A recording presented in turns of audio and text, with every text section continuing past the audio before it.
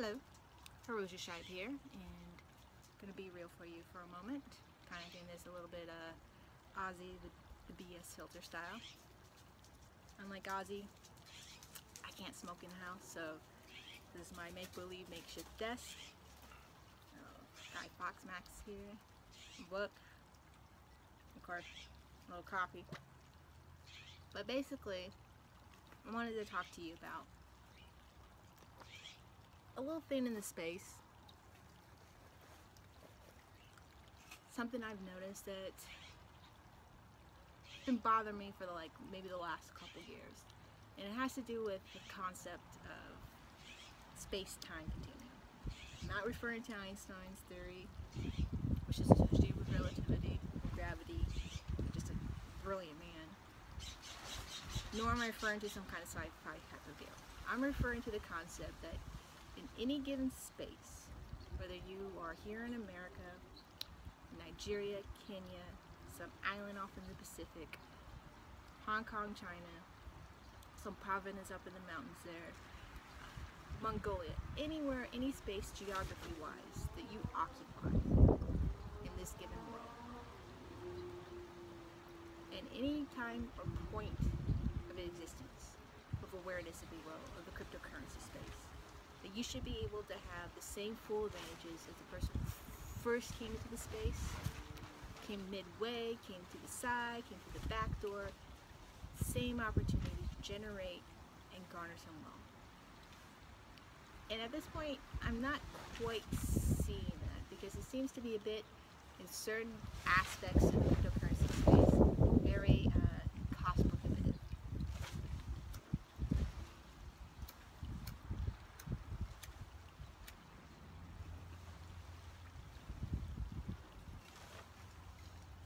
And what do I mean by that? I mean, right now, uh, I think the last time I checked, Bitcoin's trading close to 4,000. I think it dipped down a little bit, so I think it's around 3,800. Uh, that's a considerable amount of money. That means that you can pretty much potentially, at this point in time, even if it were to drop down and you know crash to 2,000 or something like that, um, I don't think it will ever crash below 2,000. You can only own a fraction of a Bitcoin, and while that's still generates and garners a significant amount of wealth, you can still do a lot of, with it. If it's a storage value, you know, you hold on to it and it will increase, increase in value to eventually, I think we talked in one of my videos, like 1 million Bitcoin will give you, a, a Satoshi will be worth a dollar. And I talked about the Bitcoin fees. Nobody really truly fundamentally likes owning a fraction of something. They like to own the whole of it. Um, this is why when um, you have estate issues, you know, for property, unless the lines were clearly defined very early on, uh, if you have three or four more, you know, heirs, if you will, people don't really like splitting up either equally or proportionally an, an estate, or property. They like the whole kit caboodle, if you will. That's why sometimes you see people buying other people out uh, in these type of deals. Same with um, companies, things of that nature. Unless you're getting some kind of significant economic uh, headway there, uh, people like to own the whole thing. They like to own the entirety of the house, entirety of the property, the whole entire car eventually. That's why people make all these payments so they can eventually own the whole thing.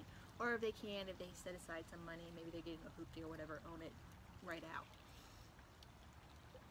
So you have that a little bit. Um, the other thing I've been seeing, especially with these um, masternode situations, starting with Dash, and you have and others, where if you're unfamiliar with masternodes, basically you set aside a certain amount of coin depending on which of these staking coins you are part of. Uh, I think with masternode it's a thousand. I think Pivx is ten thousand.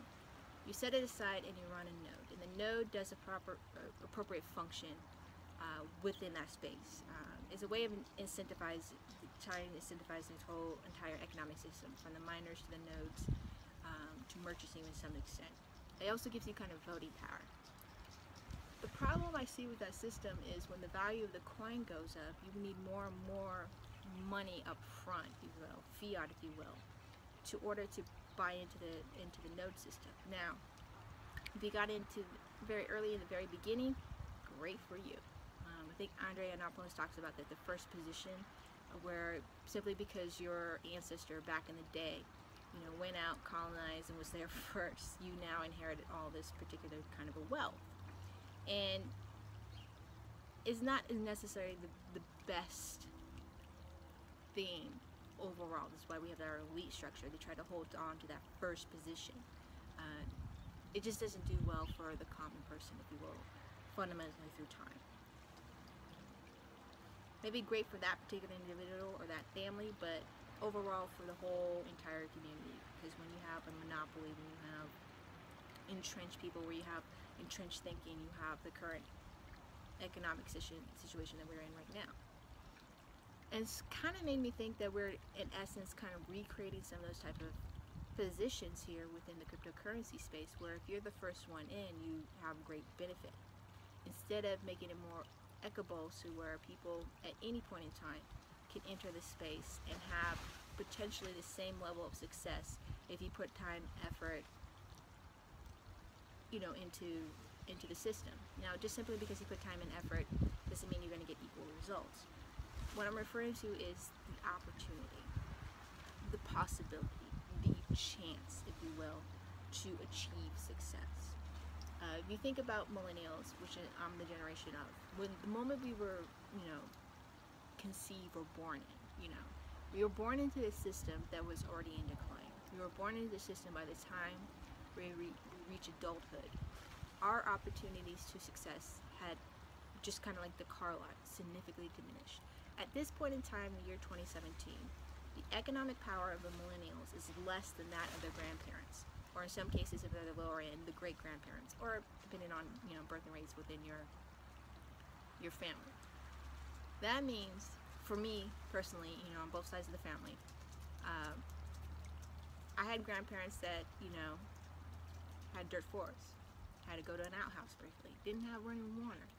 I know a lot of friends that had you know their grandparents you know came from very impoverished backgrounds, and then they had to get out there and work sixth, seventh, eighth grade, very little to no education.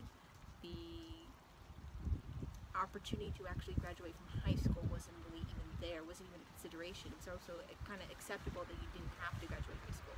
You didn't need a high school degree to get a job. You either learn a trade, learn on the job, attain your skills somehow.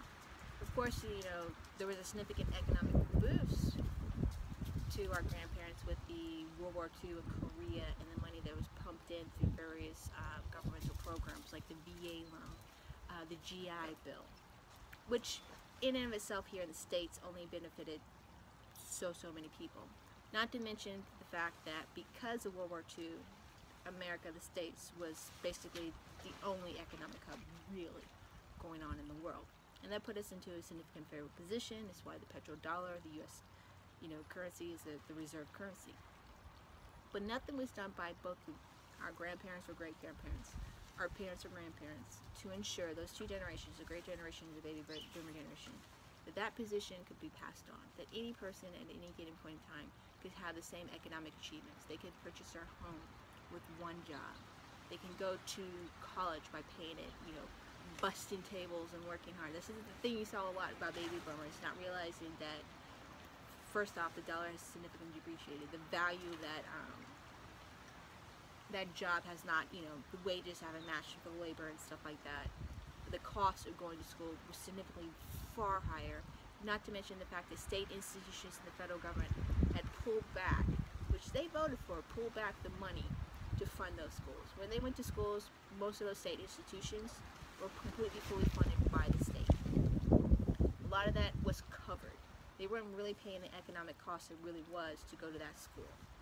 Um, fact, here uh, in the state of California, for the longest time, if you had a significant grade uh, GPA, you you went to university for free if you were a resident.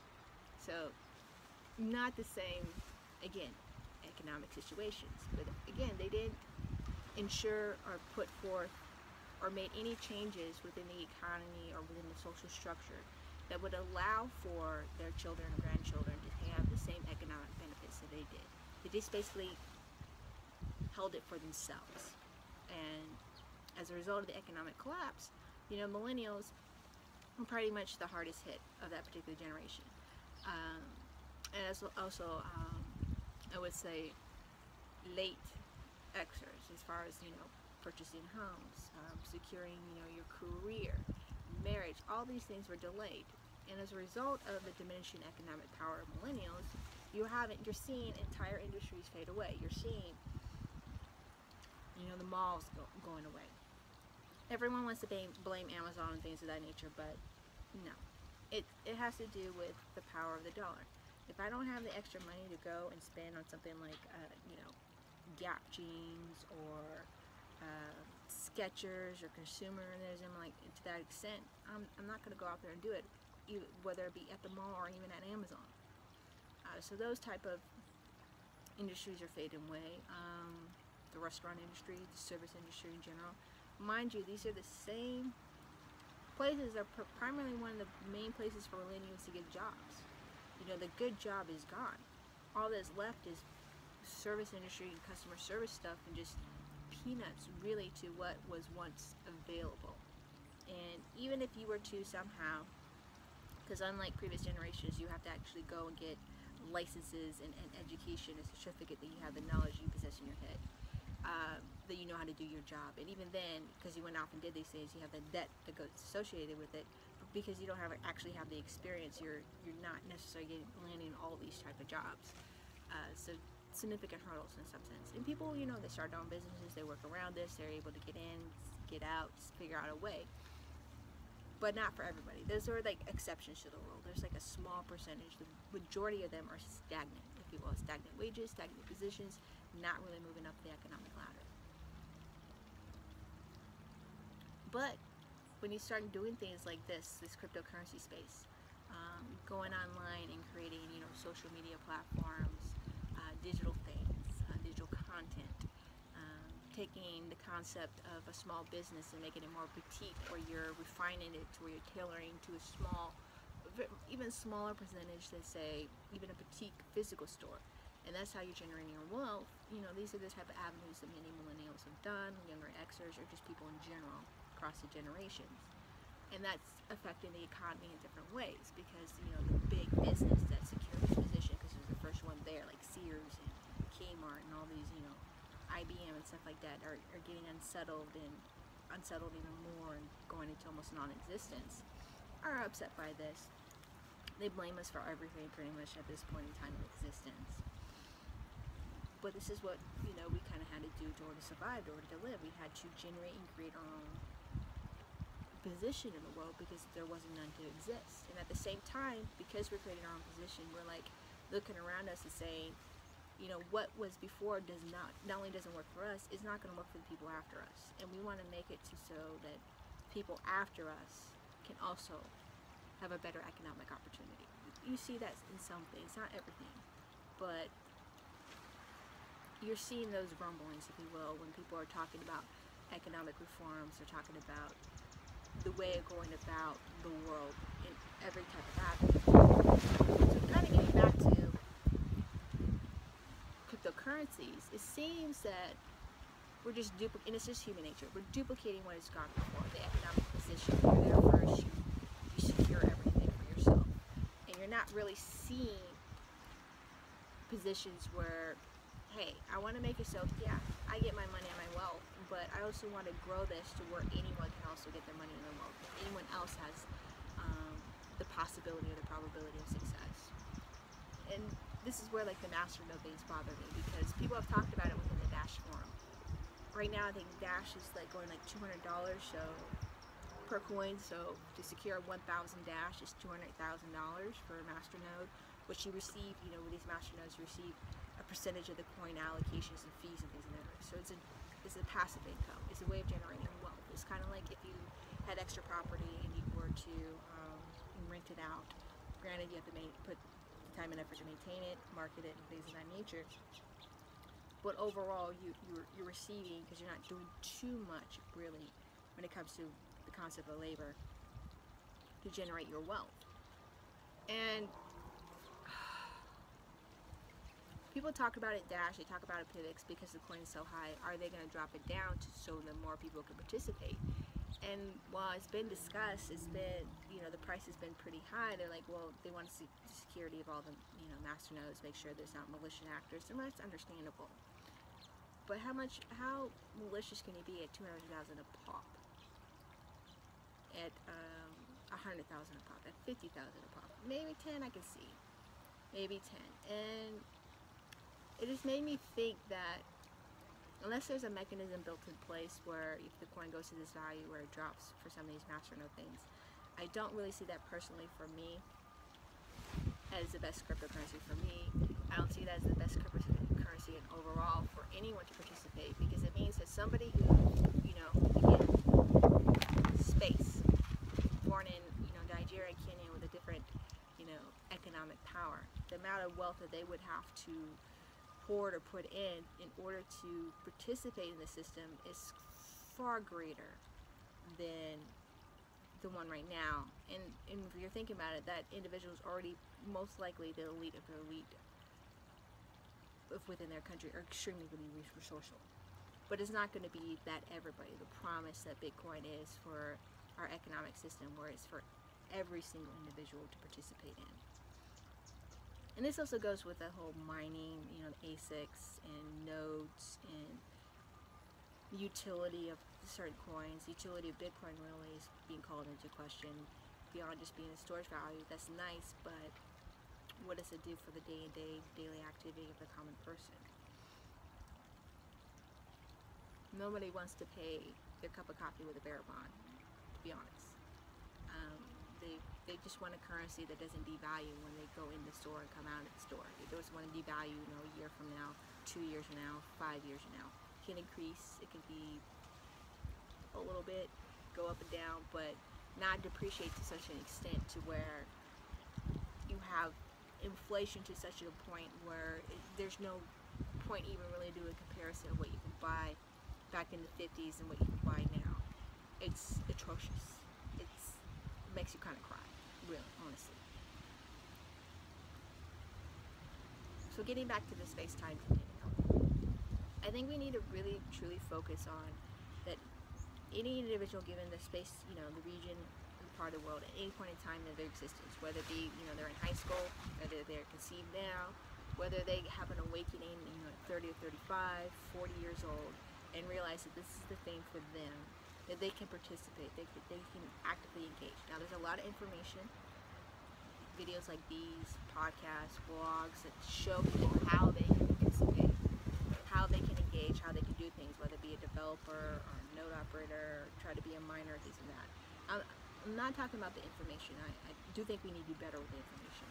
Uh, make it more clear, more languages, um, very simple as possible, very one, two, three kind of Sesame Street and then build the different kind of levels for people's understanding so that, oh, I got the basic premise and maybe they can, you know, jump ahead if they will. I'm just talking about the economic put in, the ability to put in or to earn.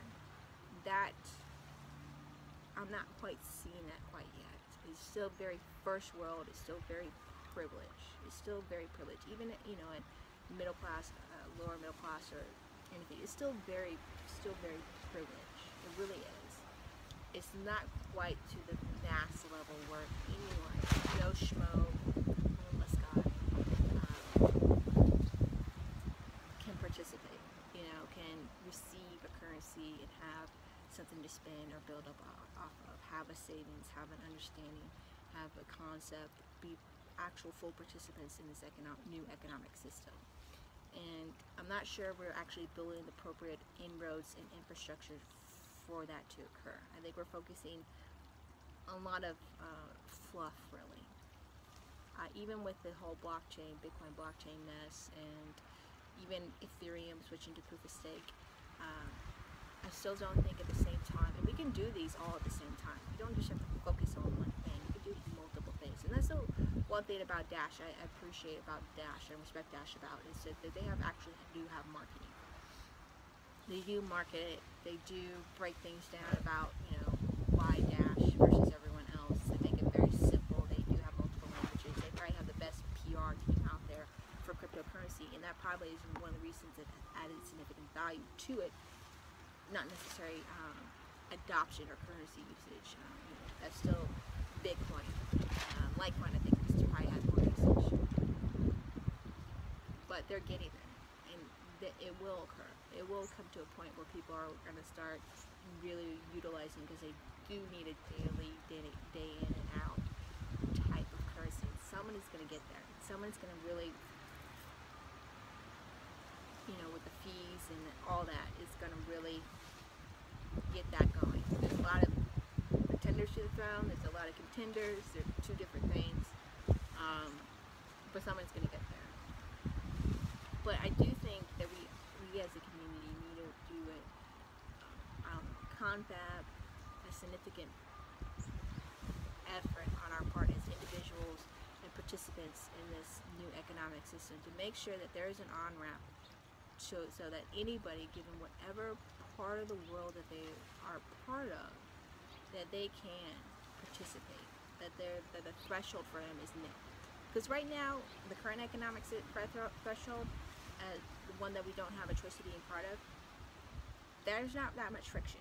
You know, you earn fiat. You can earn fiat. You can find fiat on the ground. You can do, you know, get a job. You can do side hustles. You can get, you know, a really good job if you can achieve it. Build your small businesses. The, the, the, the resistance there is participating in that sense, you know, getting cash and stuff like that. Granted, you have to spend it, spend a great chunk of it in order to survive and live um, in any given place.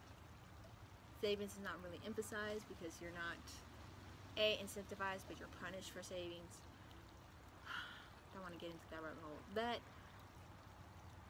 that frictionless, it's it's there. It's omnipresent. And I'm not saying that cryptocurrency should become omnipresent or anything like that, but it should have on ramps. It should have abilities. It should have utility. It should have functions that any person who wants to participate in the system at any given point in the existence 10 20 30 years from now has the same opportunity possibility and chance and they don't have to worry about being the first position to where they can generate significant wealth that is used to or even get into the system and have something that works for them economically.